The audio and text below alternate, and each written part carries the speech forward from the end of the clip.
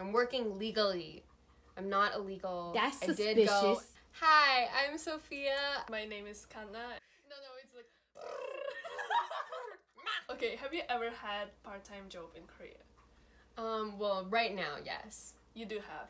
I For do how have. long do you have it? I've had my job since around the end of May this year. I also did part-time job for almost two years in Lush in Myeongdong. How how did you find that job?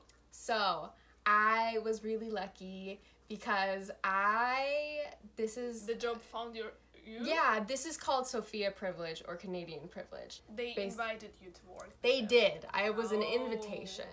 That's Mhm. interesting because I applied from Albamon or Alba Mm. Cheongguk. I don't even re- remember which app was that. Mm. So I applied like all Korean people. I think you just ap- Mhm. you find the job, you applied like with your resume, email, 자기소개서, and everything like that. But then, like, you need to do so many stuff just to get the permission to work. You need to get it. I, rem- I think the order was like that. You need to get it. You go to the person in charge on at the, your at your work, and then you bring it to international affairs office in our Mm. school, and then you bring it to immigration office Mhm. and then you apply and you need to wait i think Do, did you Uh, wait they gave it to me right away, so they like stamped it in my passport oh, yeah because I think if it's online, maybe you have to wait like a. a i week or applied so. online and i waited for Mm. two weeks just to know that i missed one document Oh no. Mhm. you actually also have limitations for work so it depends on your TOPIK level Mhm. if you're first or second year with a level 3 or above you have 25 hours a weekdays and weekends are like no limits third and fourth year with TOPIK level 4 or above 25 as well and any student without required TOPIK level 10 okay i mean like 25 hours a lot actually Yeah. so you're eligible to apply if you have alien re- registration card with student visa Yes. first. GPA over 2.0 out of 4 and 5 I think. Mm. Because in our school it's 4 and 3. Mm. It's gonna be different. Okay. What was that? Hold on. Freshmen and students taking extra semesters cannot apply for part-time job. Oh, I didn't know that. Oh.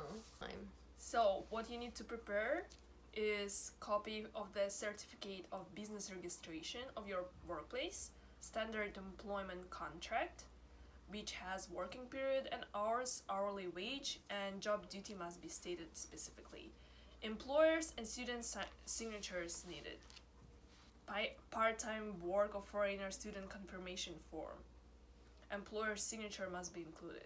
And don't forget your boss's ID card because I don't remember if it was on the eBay website. I didn't have Yeah. to bring that by the way. I guess it depends Yeah. on who, but I don't know if it says it on the website, but like just in case because they did ask me for my boss's ID cards. Bring three documents to the office. Certificate or no bring three documents from the office. Certificate of registration transcript of the previous semester and official TOPIK score report.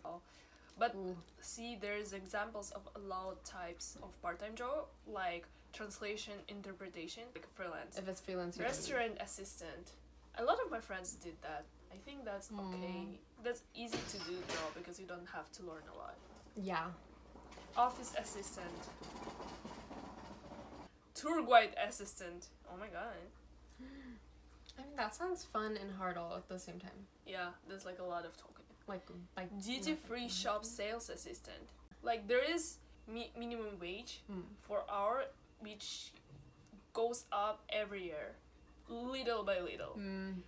not not a thousand one a year but like like five 500 so i remember wish when i started that much. Yeah, I remember when I started it was seven thousand five hundred something. Mm. Now I think it's eight eight thousand five hundred something, Mm. or Yeah, I maybe think nine. so. I think next year it's gonna be nine something. I hope so. It's not nine yet. Yeah, it is. It's not. It's not nine yet. yeah, But types of part-time job work accepted from permission. Oh, permission not needed. Mm. Internship, research projects, or any other particip- participation for acquiring credits, working at the home institution as a class assistant, librarian, etc., temporary assisting of ho- house chores or office work, participation in a movie, show, or event for once only. So you don't need any permission for that. Oh, there are also restricted types of part-time job.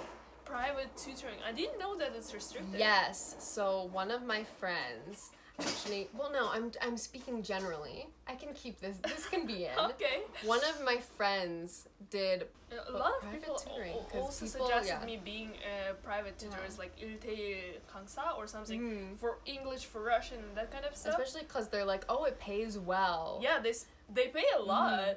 but it's not legal. Turns out, apparently, yeah. it's restricted type of part time job. Mm -hmm. Construction. Oh okay, that's Understandable. yeah. Enough Manufacturing. Yeah. Oh, permitted work period and places. Working period. Maximum one year within the coursework period. Working place is limited to work at two places at once. Oh, you Mm. cannot work more than in two places. Uh-huh. I mean, like you still you won't have a time to. So. Yeah.